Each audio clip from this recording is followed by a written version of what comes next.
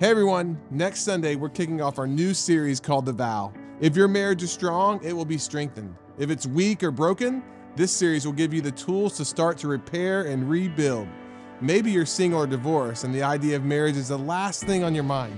But what I promise is as we look at how a husband and wife are called to love one another, you'll have a stronger picture of how God loves you. So no matter who you are or where you're at, join us next Sunday for The Vow.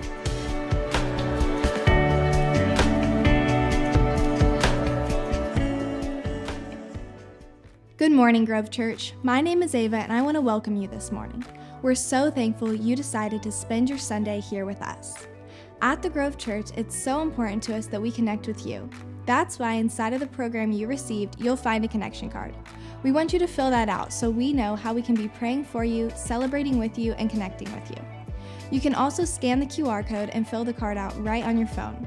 If it's your first time visiting with us, we also have a gift for you. So please, as you drop off your connection card on the way out, make sure to stop by the Welcome Center and grab that free gift. Now, here's a few announcements. Our spring equipping courses are launching very soon. These courses help to equip us in areas like our marriage, finances, spiritual growth, and so much more. We've got our Purpose Driven Life course starting next Sunday, February 4th. This course goes through the practical steps to help you discover and live out your purpose. It's going to be meeting over in Equipping Room A during our 8 a.m. service. You can find course resources and a full schedule of our other courses over at thegrovechurchfl.org/equip. At the Grove Church, we love celebrating baptisms. We never get tired of seeing life change, and baptism is the outward expression of someone's inward decision to follow Jesus. I wonder if that's your next step. If you're interested in baptism or you think that it might be your turn, then I want you to scan the QR code below. See, we believe that baptism is a great opportunity for the church to celebrate what God is doing, saving people. And to be honest, it's why we do everything that we do. It's why we serve, it's why we give our first and best. It's why we plant churches. It's why we reach others. It's why we serve our community. It's why we cultivate faith is to see others fall in love with Jesus. If it's your turn to take that step of baptism, scan this QR code and we can't wait to celebrate it with you. Grove Church, we can't thank you enough for your continued financial support. It's because of your generosity that we're able to reach our community, serve others, and share the love of Jesus. We have a few simple and secure ways to give. You can give online, on our website, or on the Grove Church app. Or you can fill out the envelope in your program and drop it off on one of the giving boxes on the way out. Now let's continue in our service.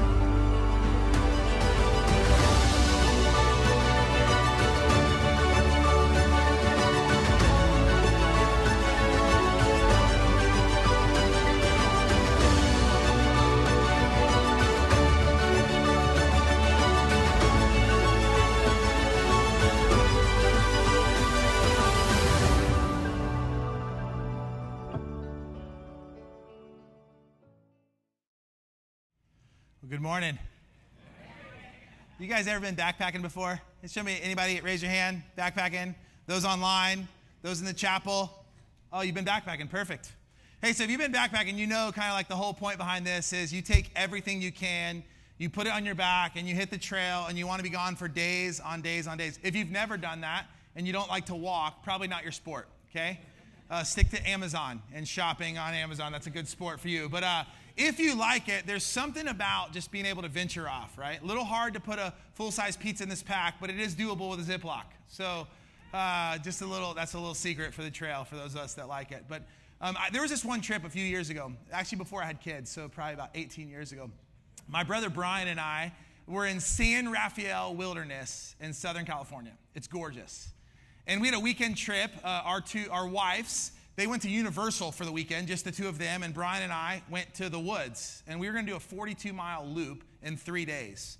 um, a little adventurous, a little crazy. Uh, but we get one day in, and as we're walking and we're walking, it's so exciting just to see different landscape. At that time, we were living in South Carolina, and Southern California looks a lot different than South Carolina trails that I'm used to hiking, and uh, going up and down, up and down, valley after valley. But before long, like one bottle became empty. It's hot. So you reach back and you pull out your other bottle. And before long, it's empty. And if you ever backpacked, one of the best ways to do food is dehydrated food. So uh, you kind of prepare as you go your meals. But one thing that I carry uh, is more bottles uh, to try to carry as much water as I can, depending on the weight you want. Um, carry as much as you can. But another thing that doesn't take up a lot of weight, but actually is really good, is my purifier. My purifier is one of those things that uh, really small, collapsible, but I can take water from anywhere. The problem with this trail was we were almost one full day in. My bottles were empty, and we could find water nowhere. Have you ever ran out of water? Thank you. you ever been, have you ever ran out of water where like you were in need of something and you didn't have what you needed? Well, I want to tell you a story today in John chapter 2 where they don't run out of water, but they run out of wine. Now that I got some of your attention. Uh, let's look at John chapter 2, starting in verse 1. So if you have a Bible, go ahead and turn there now. John chapter 2, verse 1 says, On the third day, a wedding took place at Cana in Galilee. Jesus' mother was there, and Jesus and his disciples had also been invited to the wedding. When the wine was gone, Jesus' mother said to him, They have no more wine. Woman, why do you involve me? Jesus replied, My hour has not yet come. His mother said to the servants, Do whatever he tells you. Five words. Do whatever he tells you. This, this story is the first of miracles for Jesus. It's the first recorded miracle that Jesus performs um, in his earthly ministry. Uh, it's also very important that we understand the concept here that they're invited to a wedding. It's not Jesus' wedding, it's not Mary's wedding, um, but Jesus and his disciples were gathered there. Jesus' family was gathered there, and there'd be something really, really important about whoever's wedding this is, whoever's hosting this wedding, if they run out of anything, how negative it'll reflect on the family.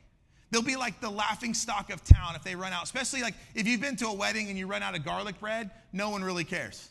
You go to the wedding and they kind of run out of pasta, you're like, ah, I had my fair share anyways. But you go to a wedding and they run out of wine, you cut that family off from all other social gatherings. Like, what a disgrace, right? And Mary knows the magnitude of this crime. She knows the significance behind if they run out of wine, what this family will endure.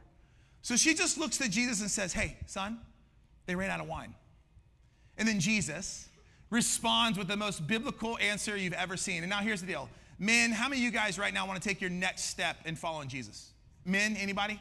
Men, you want to just say, hey, I want to be more like Christ than I was yesterday. I want to be more like I am today. So I dare you, I dare you right now to look at your mom or your wife and just say, woman. Oh, y'all are scared. You don't want to be like Jesus. I thought that's the whole purpose of church is that we come to be more like Jesus. Like when your wife asks you something later today, say, woman, why do you include me? All right? I prefer do that behind like tempered glass, okay? Here's the real truth. Kids in the room, I don't ever want to hear you call your mom woman, all right? Truth be told, don't do what Jesus did in this one story. But he says, "Woman, why why do you call me into this?" And then she doesn't even go back to why Jesus questions her. All she says is five words Do whatever he tells you. Do whatever he tells you. This miracle performed. Why is this miracle the first one recorded? Why is it even there? Like, what's the significance from water to wine? I believe God wants to teach us something great here. That when we run out, whatever it is that you've ran out of, when we run out, there's a person we can go to, and his name's Jesus. And in this series, we're wrapping up this series today. It's called God Can. And God can do immeasurably more than we've ever asked, dreamt, or imagined. God can do so much more in your life if we would just ask Him. God can. You know, these miracles are recorded. John chapter 20, verse 30 and 31 says that the miracles are recorded or they're performed so that so that you would believe that Jesus is the Messiah, the Son of God. There's so many more miracles that Jesus did in his lifespan. So many more miracles that Jesus and the disciples got to witness with their own eyes. So many that there's not enough books on the earth to write down all of these miracles. Yet the ones that are recorded right here in the book of John, they're so that you and I would believe that Jesus is the Messiah, the Son of God, and that believing you may have life in his name. Church, this morning, I believe God wants to do a miracle in each of us. I believe God can do a miracle in every single one of us that's willing to let God work. I do, I believe that. But it's so that he can receive much glory in his name. So, whatever you're going through today, place of hopelessness, God can provide hope. A place of wreck, where you've wrecked relationships or you've wrecked your life or you've wrecked the, the circumstances, situation around you, God can provide healing. If it's a sickness or a disease in your body, I truly 100% believe God can heal your body. Financial ruin, relationship, disrepair, God can. God can do immeasurably more than ever we've ever asked, dreamt, or imagined. So, what must we do? We've ran out of water. What, what must we do? First thing, if you have a program, I believe, is our step today and every day in becoming more like Jesus is simply this believe He can. Believe He can. You want to experience a miracle in your life? Believe God can. Mary, she knew who Jesus was. She knew from the time that the, the seed from God was planted in her womb, that the Messiah would come, that the baby, sweet baby born unto her would be the Savior of the world. She knew. Why is it at this first wedding, or why is it at this wedding in, in Cana of Galilee? Why here is where she calls out? Jesus, they ran out. Do whatever he tells you. Five simple words. She believed he could. His mother said to the servants, Do whatever he tells you. Mary believed Jesus could fix the problem. Mary knew that he had the power to take care of the solution. On this backpacking story in California, when Brian and I got into this 42 mile loop, uh, we start charging the first day. We were going to do like 10 to 15 miles that first day. And as we got near our first campsite on the map and we realized there was no water, uh, we charged through the first campsite. We kind of sat down, had a little snack, um, put our headlamps on, and then walked well into the night because we were desperate for water. We knew that once we actually cooked our meal um, of dehydrated ramen noodle or whatever meal we brought that night, if you ever had those, they're horrible. Um, but on the trail, they taste so good. Uh, whatever we knew, we knew that our bottle was going to be empty. So we saved just a tad bit for the morning uh, so we could have a drink, maybe a coffee or a hot liquid on a cool morning. Uh, but when we got going that day, uh, we were well into the next day. We're, we're probably 20 something miles into this loop, still no water. And I knew in that moment uh, the only thing we had was to pray. You ever been there? Where, where you run out of something, you're like so desperate, you're like, God, please, God, please. I know I'm mom's favorite. Can I be your favorite, right? Like, don't tell my brother that, by the way. But uh, I'm definitely the favorite. So, but like, God, please, like, God, give me what I need. Like, please, God, please. And I got to this place where I started dry heaving. I don't know if you ever dry heaved from being so dehydrated. I was so weak. Uh, my palms were sweaty. My knees were weak. There was vomit on my backpack already. Like, uh, uh, I was hurting so. Some of you are like, what song is that? You know, it's like, I don't know, Shazam it. But, uh, I was so bad off. I was so hurting. I just needed water so bad. And here came our Savior, I thought, a guy on horseback. And he was coming towards us. And he tells us, Hey, you guys are backpacking. When are y'all planning to get out? And we tell him what day we're going to get out. He said, Hey, you guys better hurry because mule season starts tomorrow and there's going to be people out here hunting. And I just said, Praise God. They're going to have water. Like they'll bring water, you know? And the guy's like, Oh, if you keep going, there's water up ahead he said it's not far and he like points to this mountain range and he said on top of that range there's water. Back up. We go. Throwing up passing out like crying literally crying um, from dehydration. Both of us. My brother uh, served me well. He took all the heavy things out of my backpack left me with like the sleeping bags right? And we're walking trying to find water. We can't find it. But here's what happened. We stopped and we prayed. I knew God could. I knew God could provide. And in my heart, I knew God would provide. But see, that's where the tension builds for us today. I think a lot of us in this room are without water.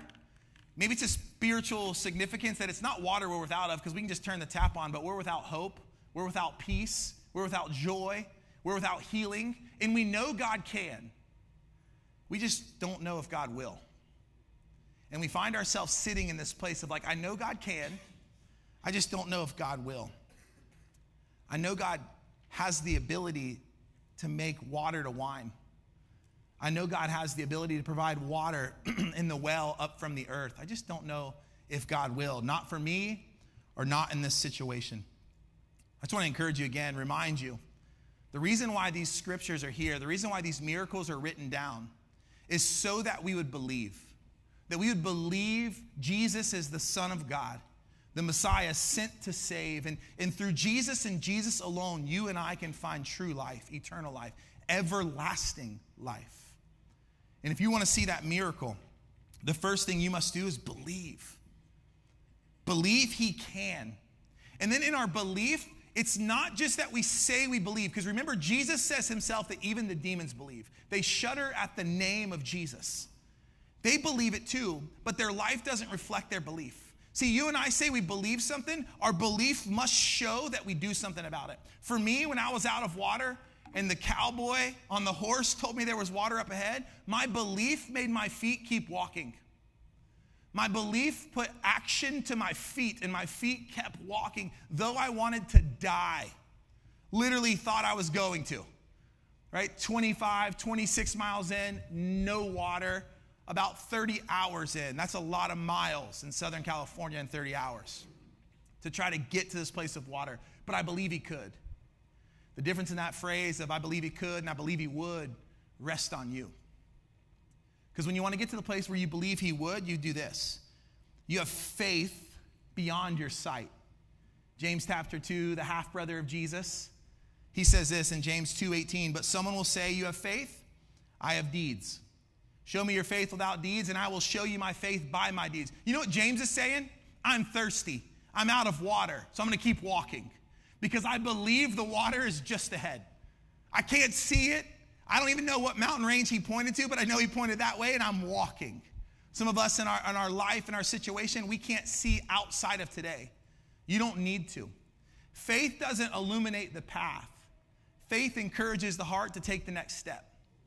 You don't have to see what's in front of you to have faith. Matter of fact, Hebrews 11 1 says, Faith is confidence in what we hope for and assurance about what we do not see. Faith is, I believe he can. So I'm going to walk it out. I believe he can. So what I'm going to do is do whatever he says. Mary had faith that Jesus could perform the miracle. She didn't know how he was going to do it. That, that part of the story hasn't happened yet. She just knows that he can. So she looks to the servants who aren't even her servants, and she just says, Hey, do whatever he says.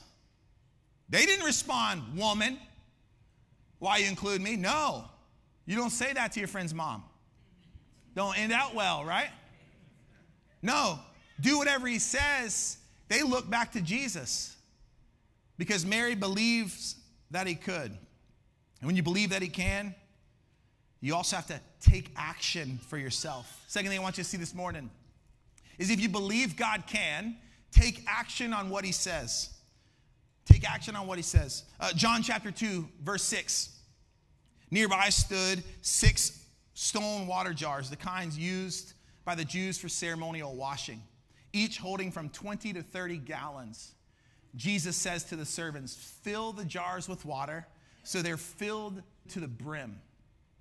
Then he told them, Now draw some out and take it to the master of the banquet. And they did so. Six large jars of water, 20 to 30 gallons each. So before us right now, if you're uh, in the auditorium, you see this God can in front of you. That's a 55 gallon drum. So if we did some quick math here, and there was 25 to 30 gallons per, and there was six of them, we only need three of these. But three of these large drums, if you're over in the chapel, there's a drum up in front of you uh, that you're going to participate in a minute. But in here, uh, these drums, if we uh, stood them up on stage, three of them, and we filled them completely with water, that's the amount of water that these servants went and got.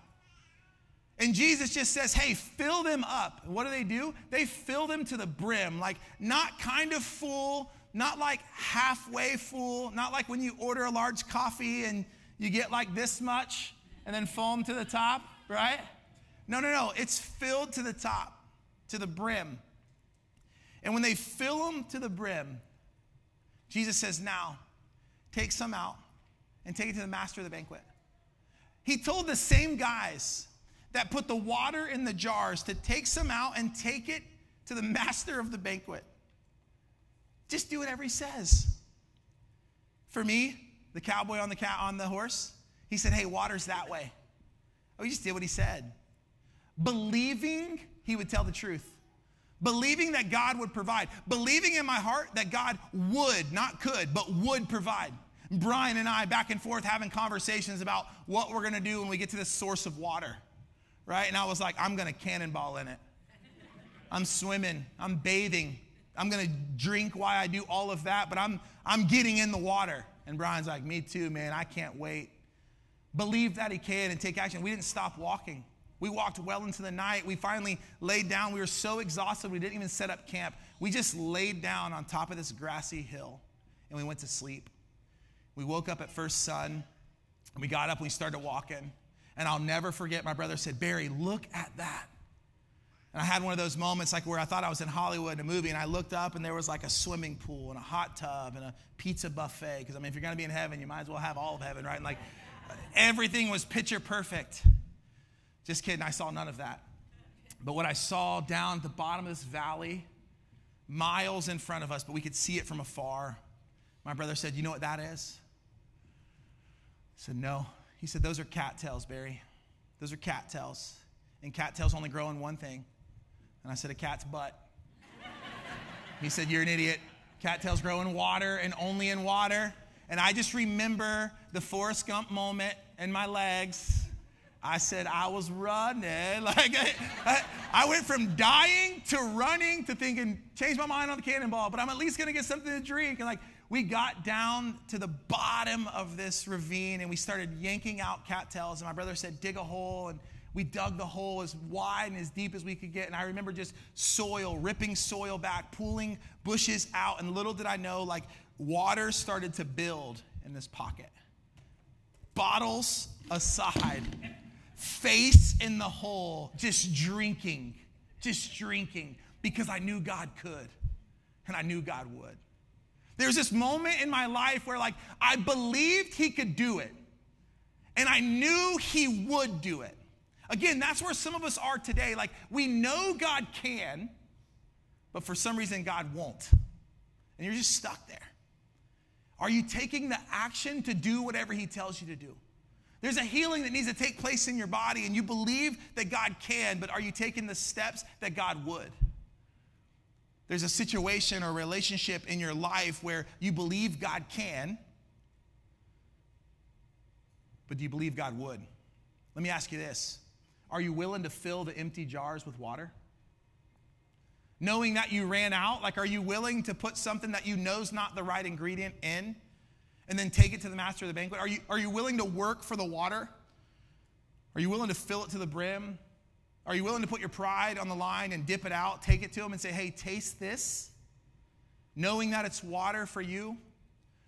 Like, are you willing to keep on hiking with the 40 pounds on your back without water? Now, a full day in, are you willing to keep walking because you believe that in front of you God will? See, believing God can is not enough. You have to put the action into your step and literally walk it out in your life. I've heard it said like this uh, there's an acronym that says FAR, and FAR stands for faith plus action equals results. Faith plus action equals results. And I think in our life, this is the story in John 2 that we see. We see the faith of Mary and the faith of the servants. We see the action of the men filling the jars. And then we see the results that only God can do. Look with me again at John chapter 2, this time picking up in verse 8. They draw some out, they take it to the master of the banquet. and the master of the banquet tastes the water that had been turned into wine. He did not realize where it had come from, though the servants had drawn the water new. Then he called the bridegroom aside and said, Everyone brings out the choice wine first, and then the cheaper wine after the guests have had too much wine to drink. But you have saved the best till now. What Jesus did here in Cana of Galilee was the first of the signs through which he revealed his glory, and his disciples believed in him. When we have faith to believe that God can, we put action into our faith that God will. We experience the miracles or we experience the results. Another way to say that is we go far. We go far. And more than anything in your life, you want to experience the result of God's miracle in your life. You hear what the master of the banquet said? Everyone brings out the choice wine first. Of course, you give the very best first. And then once everyone's had a little too much, you bring out the cheap stuff. Who would do that? Who would do that? The master says, But you, you know what you've done? You've saved the very, very best for last. This isn't a shock, it's not a surprise because Jesus got involved. In Grove Church, I don't know if you know this or not, but when God gives, God only gives his first and best. It's all God knows how to do. When humanity sinned, when we fell in the garden, and sin brought death and destruction, all God could do was give his very first and his very best. He gave his one and only Son, Jesus. Jesus comes and lives a sinless life into humanity gave his very best and died the worst of the worst ways. That's all he knows how to do is give his very best. I, I read this verse this past week and it, it stood out to me. This is exactly the point I was trying to make right here. It's Philippians 4 9, 19. And my God will meet all your needs according to the riches of his glory in Christ Jesus. You're without water? You've ran out of wine? Do you have faith that God can? Are you willing to act on that faith and turn it into action? And if you are, I believe the results that you desire are coming soon. The result that you desire can happen not because of who you are, because of what you do, but all because of the riches in Christ Jesus. That he be glorified, that he be honored. But this again is one of those places with unresolved tension in our life. I believe God can, but for whatever reason, I just believe God won't. If that's where you find yourself, like I believe God can, I just don't believe God will, not in my life, not for me, then I want to ask yourself, what's your ask? What are you in need of? Like the provision that you lack, what is it? Is it just to better your own life? Or is it to further the kingdom of God? Is it for the glory of Christ that others would come to believe and to know that He's the Son of God? the Savior of the world, or is it just so you have a little more luxury and a little more comfort? But when we don't experience the result that we desire, we just repeat. See, far, faith, action, results, it's a cycle. And when you don't experience the result that you're looking for, you just keep going. You have faith to believe He can, you act upon that faith or that belief, and it results in a miracle of God. And it looks a lot like the recycle symbol to me kind of over and over and over again that I just have faith, leads to my action because I believe it to be true. And then when I believe it to be true, my actions lived out equals results. And if I don't get to my results, I just go back to faith. And I believe it to be true. And then I, my actions lead to results. And if that don't happen, listen what I do. I believe God, I faith God, I wait. I believe God, I faith God, and I wait. And if it doesn't happen, I just keep going, believing God, faith in God, and waiting. The results are not up to me. The results are only up to and through God Himself. But the action and the belief is 100% on me. God wants to do a miracle in your life. God wants to do the miraculous in your situation. Do you believe that He can? Will you personally take action on the belief. And then by God's grace, I pray that we experience the result. But again, Just because we ask for it doesn't mean we receive it. If your ask is a selfish ask and it's only for you and your glory, why does God want anything to do with that if it brings his son no glory? It's kind of like this. Uh, I started to pray and ask God for more money because money was tight, bills were unpaid, tension in the marriage was, was uh, starting to build. We've all been there.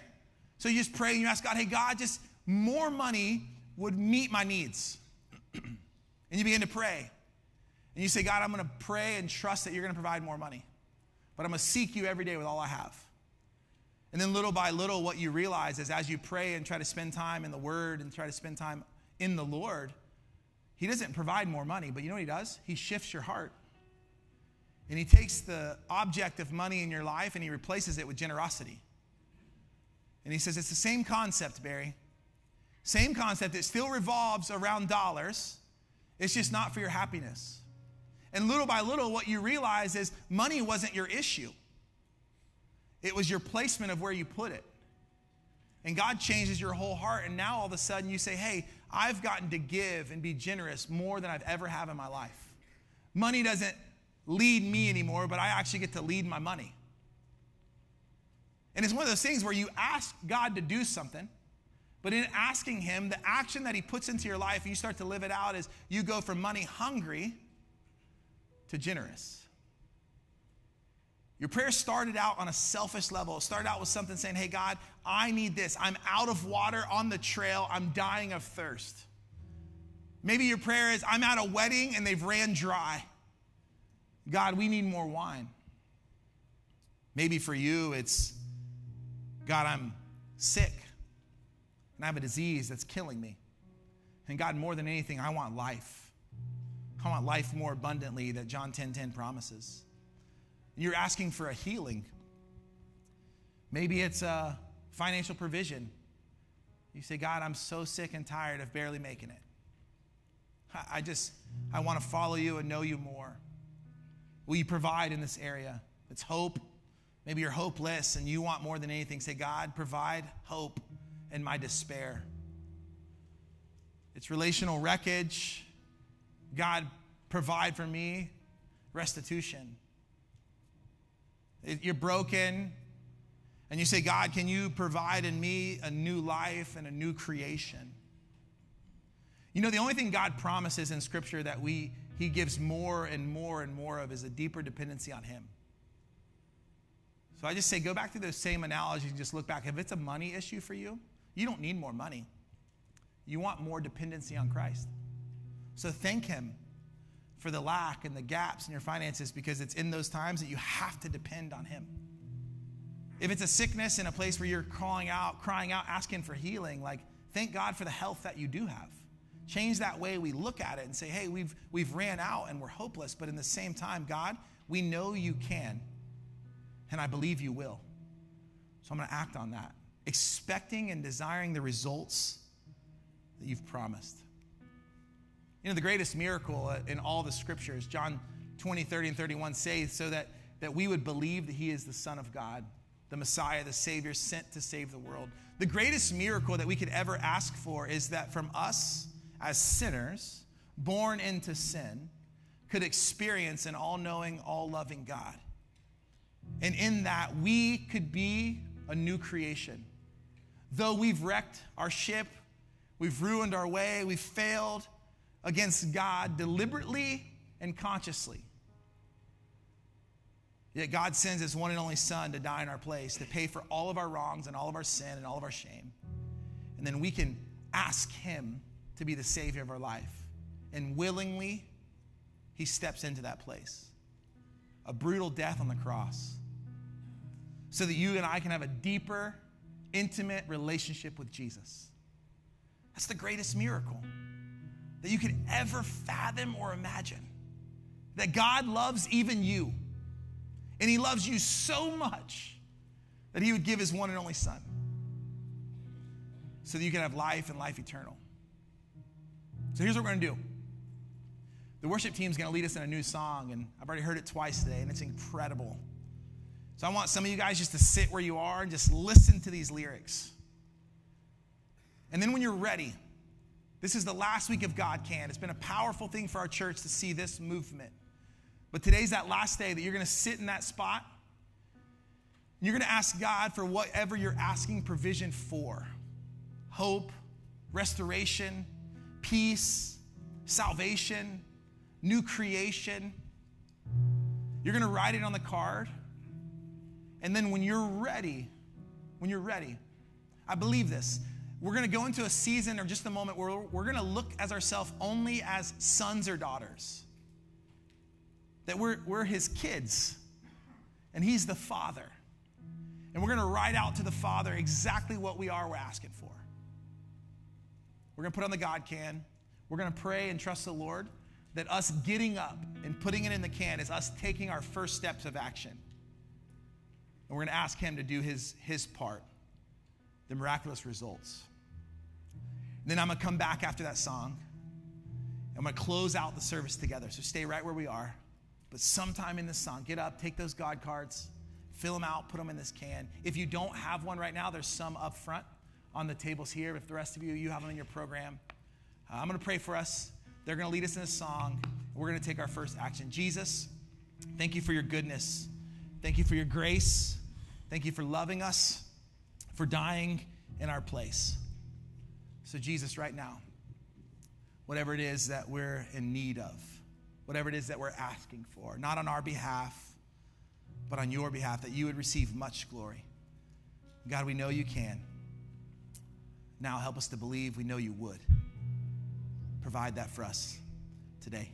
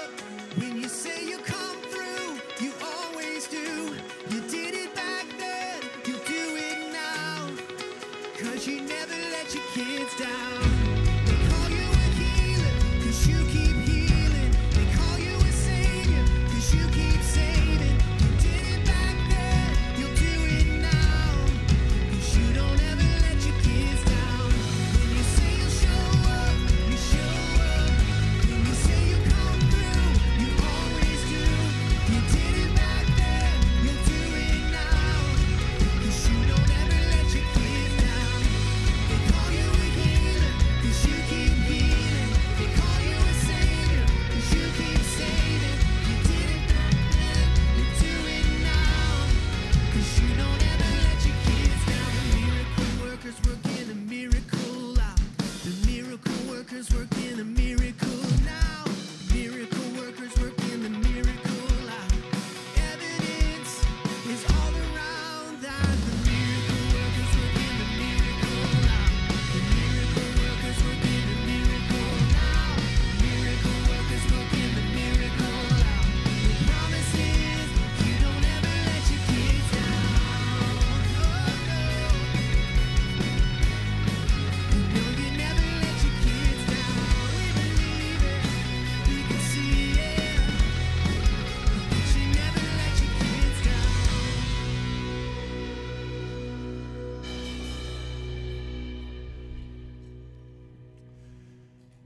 says uh, he can do immeasurably more, Ephesians 3.20. More than we ever ask, more than we ever imagine. I want to encourage us, just because we ask for it doesn't mean God will. The ask is up to us to decide, do we want the glory or are we pointing all the glory towards him? But whatever you lack, whatever you're in need of, whatever you hurt for, whatever you long for, God can. God can. I believe that he will when all the glory points to Him. All the glory points to Him. The results are up to God. The belief and the action are up to us. So, church, this morning, if you want to experience what it means to have new life or a new creation, we'd love to pray with you and talk to you right now. There'll be some of our team up front, love to pray for that and pray with you. If you're praying through something and you want us as a staff or a family uh, to pray along with you, uh, and you put it on the card, we're going to pray with those cards this week. But if you want to speak to someone or pray with someone this morning, please come forward and uh, we'll pray with you. The rest of you go in God's grace. Have a great week, and we'll see you right back uh, next Sunday for the vow.